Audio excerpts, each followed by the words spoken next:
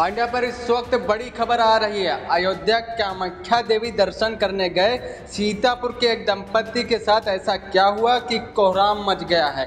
सीधे हम चलते हैं रामपुर मथुरा के इंडिया संवाददाता दुर्गेश मिश्रा के पास जो इस वक्त फ़ोन लाइन से जुड़ चुके हैं। तो दुर्गेश जी बताएँ क्या कुछ जानकारी मिल रही है आपको?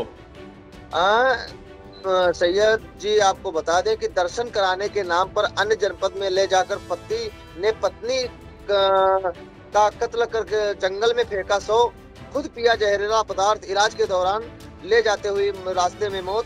ये पूरी जानकारी कनरखी अर्जुन पुरवा निवासी गोपाल निषाद पुत्र मुराली जिनकी पत्नी है फूल केसरी उर्फ़ फुलझड़ी। ये छह तारीख को लेकर के अपने रिश्तेदारी राहुल नया पुरवा थाना बाबा बाज़ार अयोध्या कामाख्या देवी दर्शन कराने के लिए गया था, जहाँ पर आपको बता दें कि कुछ वाद विवाद हुआ गोपाल और उसकी पत्नी के बीच में, जिसको लेकर के बाबा बाज़ार के एक जंगल पड़ता है, वहाँ पर फूल केसरी या उर्फ़ फूल झड़ी जो है, उसको मार करके डाल दिया। उसके बाद में गोपाल ने अपने लड़के शैलेश को फ़ोन करके बताया कि तुम्हारी माँ को मैंने मार दिया है और मैं आत्महत्या करने जा रहा हूँ। लेकिन उसी बीच गोपाल जो है, वो रामपुर मथुरा के लिए वापसी कर चुका था।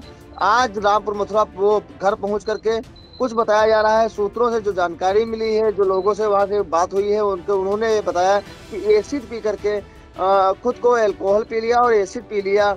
उसके बाद तुरंत एक कोई ई रिक्शा गाँव का था, उसी से सीएससी रामपुर मथुरा पहुँचे। वहाँ से बाराबंकी रेफर कर दिया।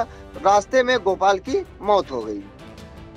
तो यह थी इंडिया पर इस वक्त की बड़ी खबर। अयोध्या दर्शन करने गई, एक दंपति का सौ मिलने से हड़कम मच गया है। तो यह महत्वपूर्ण जानकारी दर्शकों तक पहुँचाने के लिए आपका शुक्रिया, दुर्गेश।